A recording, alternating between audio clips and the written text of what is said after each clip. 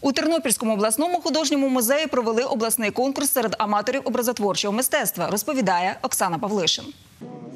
У конкурсі за звання лауреата змагалися кращі аматори образотворчого мистецтва Тернопільщини.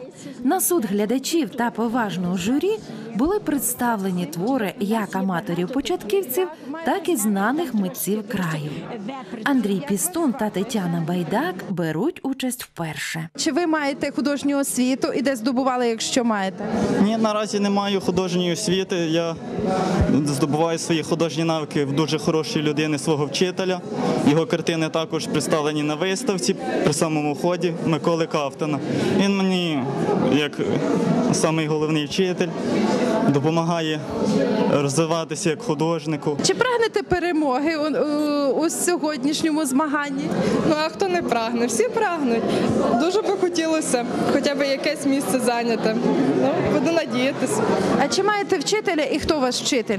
Ну, я зараз навчаюся в Кременці і ну, на образотворчому мистецтві, тому вчителів в мене багато, але в принципі сама якось так шукаю якісь техніки нові і щось спробую. Художник Володимир Шумило є лауреатом обласного конкурсу 2014 року. Від полотен художника віє любов'ю до рідного краю. Цього року мене вразила е, дуже сильно зараз експозиція, дуже багато сильних робіт. і Я навіть не сподівався, якщо чесно. Чи боїтеся конкуренції? Е, Я конкуренції не боюся, тому що я лауреатом вже був, так що мені аж ніяк воно до мене Ви Прийшли не за перемогою. звичайно ні. Хоча ваші картини дуже е, подобаються, бачу людям, і мені особисто. Е, Скажіть, будь ласка, скільки вже років малюєте? Чесно, 40. Кожна картина, представлена на виставці, дихає своєю неповторною історією.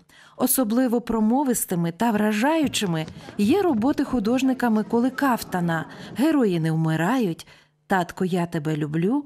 Україна 2014. Переможницею та лауреатом цьогорічного обласного конкурсу стала художниця-аматор із Кременця Тетяна Балбус.